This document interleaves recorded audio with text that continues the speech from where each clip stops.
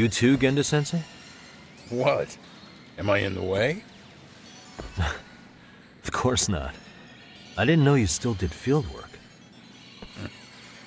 I figured if they could pull a fast one on Saori-kun, I'd at least want to look him in the eye. Why are all these people here? What gives? We've been waiting for you, Yagami-san.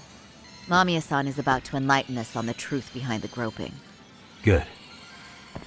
Oh, and I heard about Sawa-sensei. I'm so sorry. Our condolences.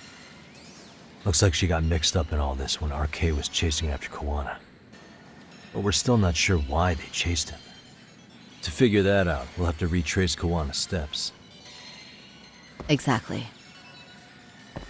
That said, let's start with the harassment charges, Mamiya-san.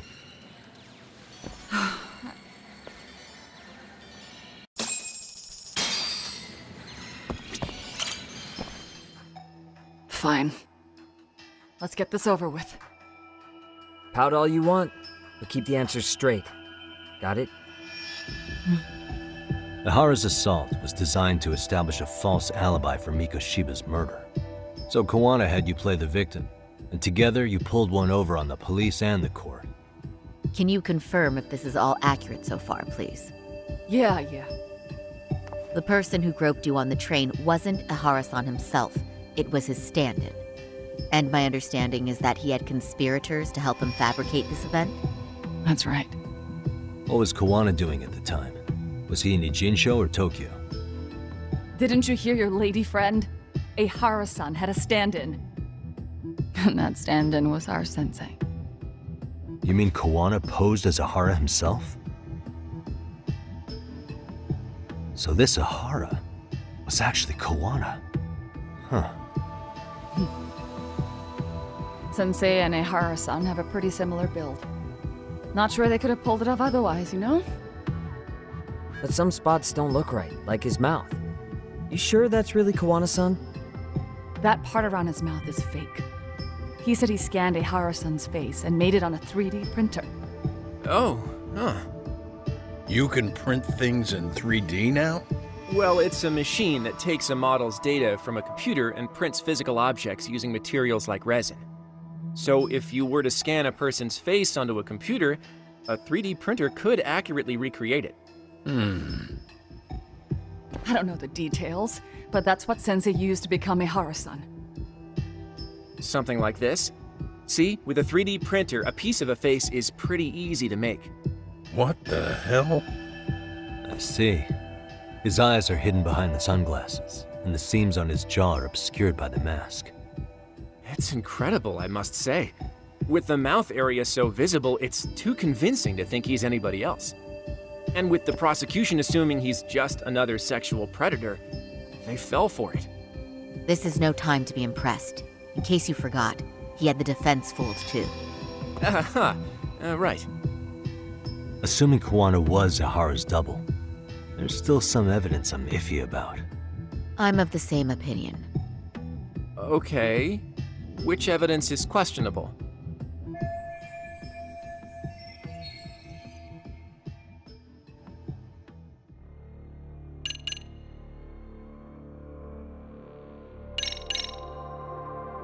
This piece of the puzzle still needs an explanation. Is that. The police examined the trace evidence on Ehara's hands after he was caught. And from the analysis, the same fibers from Mamiya-san's undergarments were found on Ehara's hands. That's right. If the stand-in was the groper, Ehara-san wouldn't have touched Mamiya-san at all. But the evidence on Ehara-san's hands suggests otherwise. Rather strange, isn't it? I take it there was a trick to this, too? That's simple. Before I got in the train, I met with the real Ehara-san at the underground platform. That's when I had him touch the undergarment. After that, all I had to do was go to the bathroom and put them on. That's where the fibers in the trace were from.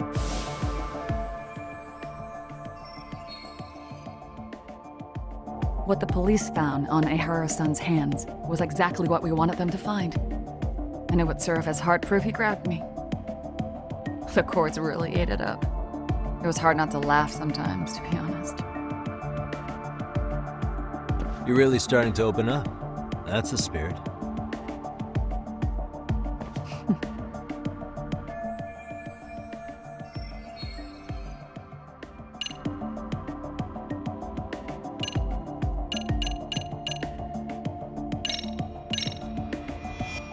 Any thoughts after seeing this? Stop it. You're gonna look away? You aided and abetted by playing the victim, didn't you? I mean, yes, Who put this video up on the internet? Sensei did. He said from the start that once Ehara-san got his guilty verdict, he'd upload it to the internet. So that was all part of the plan. Yeah. Sensei can't forgive the law for how easy it lets off bullies. Ehara-san's the same way. His son's death was brushed aside. The court blamed his suicide on unknown factors. And that's what led them to his whole plan. The real victim is some bully who never got what he deserved, and the killer gets off in court by being convicted of battery. How would the public respond after finding out they'd gamed the law like that? So Kuwana and Ehara's real plan was to make a mockery out of the justice system. Seems to be going well for them. The courts are beside themselves for dragging the police into this. I guess Ehara really was desperate. He was never concerned about his own punishment. He tarnished his own name to humiliate the law. Yeah, cop or not, Ehara is a broken man. Nobody took responsibility for his son's death. The courts all but ignored his case. No wonder he went along with Kuwana. I can't even imagine. Yeah, Sensei and Ehara-san are the perfect pair with nothing to lose. The only ones who do are the ones forced to comply. Us. Speaking of which, are we done here yet?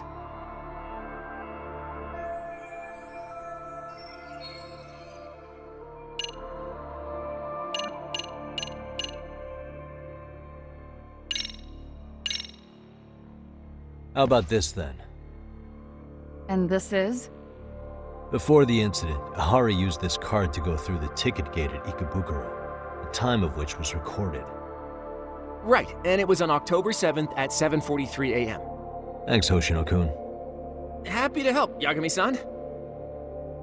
At the earliest, Mikoshiba's time of death would have been 7.30 a.m. If Ehara killed Mikoshiba in Nijinsho, he would have only had 13 minutes to get to Ikebukuro. And frankly, that's impossible. That's what's dumping you? Huh?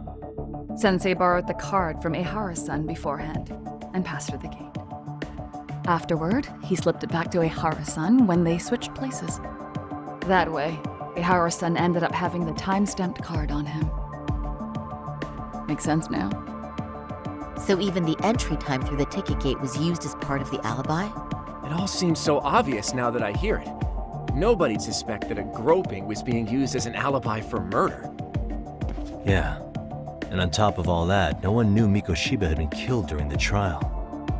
They really pulled it off. Anything else? Yagami-san, you sure that's enough? Yeah, I think we've got plenty. Bottom line, groping was a fabrication.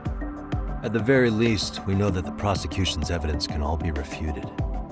The courts were being intentionally misled. I'm considering filing an appeal.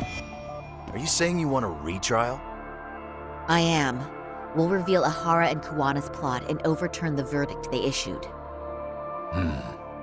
That might be harder than it sounds. Why do you say that, Genda-sensei? Well, the previous trial resulted in Ehara being found guilty, right? As the client, if he doesn't want an appeal, there's no way you're getting one. Doesn't matter what any lawyer tries to do. If Ehara refuses to appeal, then that's that. Then we'll talk to him tomorrow. First, we need to see how he reacts to everything we've got on him. Sounds good. Then let's meet at the detention center tomorrow. Will do. So, we done for the night? Sure are. Great job, everyone. Go get some rest.